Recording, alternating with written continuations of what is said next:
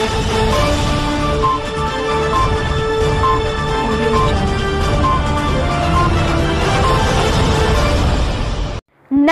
लाल। दोस्तों, यह नाम ही काफ़ी है। जी हाँ नटवर लाल का नाम ठगी का पर्यायवाची शब्द और मुहावरा बन गया है। सत्तर अस्सी और नब्बे के दशकों में एक के बाद एक कई ठगी गई घटनाओं को अंजाम देकर नटवर लाल भारत का कुख्यात ठग बन गया।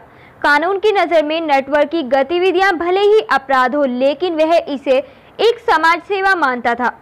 अपने जीवन काल में करोड़ों रुपए ठगने वाले नेटवर्क का कहना था कि वह लोगों से झूठ बोलकर पैसे माँगता है और लोग उसे देते हैं।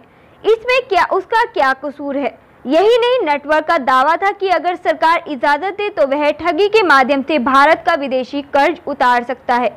हम आपको बताएँगे कि नटवर लाल के बारे में, जो अपनी गढ़ बुद्धि की वजह से कई दशकों तक भारत का मोस्ट वांटेड मैन बना रहा।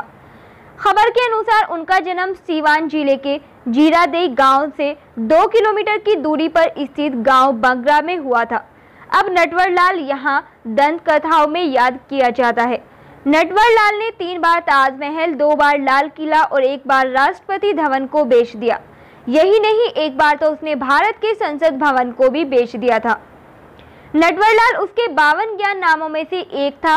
कहा जाता है कि नटवर लाल ने धीरू भाई अंबानी, टाटा और बिरला घटना के उद्योगपति के अलावा सरकारी अधिकारियों से भी ठगी की थी। दोस्तों, मोस्ट वांटेड अपराधियों की लिस्ट में शुमार नटवर लाल के खिलाफ आठ राज्यों में सौ से अधिक मामले दर्ज थे। वह अपने जीवन काल में नौ बार गिरफ़्तार हुआ, लेकिन प्रत्येक बार किसी न किसी तरह पुलिस की चंगुल से भाग निकला। अंतिम बार जब वह पुलिस की पकड़ से भागा, तब उसकी आयु चौरासी साल की थी।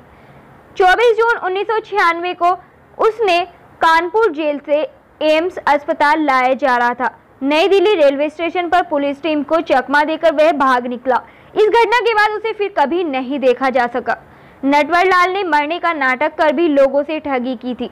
वर्ष 2009 में नटवर लाल के वकील ने उनके खिलाफ दायर 100 मामलों को हटाने की याचिका दायर की थी।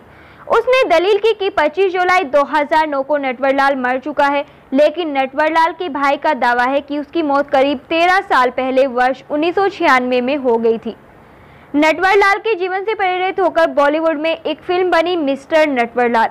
इस फ़िल्म में मुख्य भूमिका में थे अमिताभ बच्चन।